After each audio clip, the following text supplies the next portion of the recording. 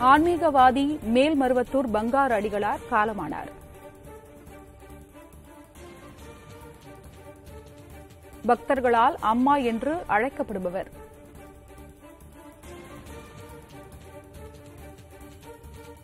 மேல்மருவத்தூர் ஆதிபராசக்தி சித்தர் என்று அழைக்கப்படுபவர்.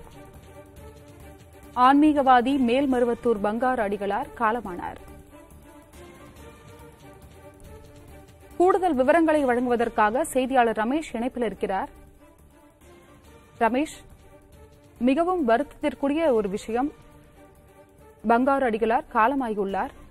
கூடுதல் விவரம் என்ன? செங்கல்பட்டு மாவட்டம் மேல்மருவத்தூரில் ஆதிபராசக்தி பீடத்துடைய நிறுவனர் பங்காரு அடிகளார் இன்றைக்கு மாலை ஏழு மணி ஏழு- இன்று மாலை வந்து காலமாயிருக்கார். எண்பத்தி ரெண்டு வயதாகக்கூடிய பங்காரு அடிகளாருக்கு மாரடைப்பு காரணமாக அவர் உயிரிழந்திருக்கிறார். ஏற்கனவே அவருக்கு இந்தியா முழுவதும் ஏராளமான பக்தர்கள் இருக்கிறார்கள். ஆதிபராசக்தி சித்திரப்படத்துடைய தலைவராக இருக்கிறார்.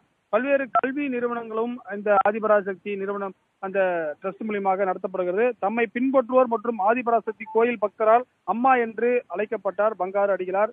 எண்பத்தி ரெண்டு வயதாக இருக்கக்கூடிய அவருக்கு குறிப்பாக கோயில் கருவறைகளில் பெண்களும் பூஜை செய்யலாம் என்ற வழக்கத்தை பரவலாக்கியது மேல்மருவத்தூர் சித்தர் பீடம்.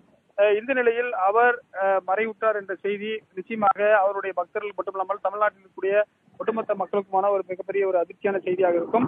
அவருக்கு குறிப்பாக அவர் மேல்மருவத்தூர் ஆதிபராசக்தியுடைய மருத்துவமனையும் அவர்கள் மருத்துவக் கல்லூரியும் நடத்துகிறார்கள். இருந்தாலும் மாரடைப்பு காரணமாக எண்பத்தி ரெண்டு வயதாக இருக்கக்கூடிய அவருக்கு வந்து தற்போது அவருடைய உயிர் பிரிந்ததாக தற்போது அதிகாரப்பூர்வமாக அறிவிக்கப்பட்டிருக்கிறது. குறிப்பாக அவருடைய இறுதிச் சடங்குகள் நாளை நடைபெறும் என்றும் தெரிவிக்கப்பட்டிருக்கிறது. அது மட்டும் இல்லாமல் பல்வேறு தலைவர்களும் இரங்கல் தெரிவிக்கிறார்கள். தமிழக அரசு சார்பில் முதலமைச்சரும் இன்னும் சிறிது நேரத்தில் இரங்கல் தெரிவிப்பார் என்று தலைமைச் செயலக வட்டாரங்கள் தெரிவிக்கின்றன. அஹ், நிச்சயமாக அஹ், தமிழக அரசு சார்பில் அமைச்சர்கள் அல்லது அஹ், மூத்த அமைச்சர்கள் நேரில் சென்று அஞ்சலி செலுத்துவார்கள் என்றும் எதிர்பார்க்கப்படுகிறது.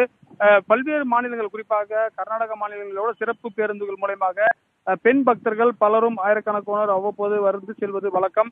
மேல்மருவத்தூர் என்ற அந்த பஸ் ஸ்டாப்பே வந்து பாத்தீங்கன்னா இந்த பராசக்தி கோயிலுக்காக தான் பிரசித்தி பெற்றது அது மட்டும் இல்லாமல் ரயில் நிலையங்கள்லாம் கூட ஏற்படுத்தப்பட்டன. மேல்மருவத்தூர் ரயில் நிலையமே இந்த கோயிலுக்காக தான் ஏற்படுத்தப்பட்டது. அந்த அளவுக்கு வந்து அஹ், கடந்த ஒரு ஆயிரத்தி தொள்ளாயிரத்தி தொண்ணூறுகளிலிருந்து பிரசித்தி பெற்ற இந்த மேல்மருவத்தூர் பராசக்தியுடைய பங்கார் அடிகளார் தற்போது காலமாயிருக்கிறார். மாரடைப்பால் காலமாயிருக்கிறார் என்ற செய்தி நிச்சயமாக பெண் பக்தர்களுக்கு பெரிய மிகப்பெரிய அதிர்ச்சி ஏற்படுத்தும் மரணா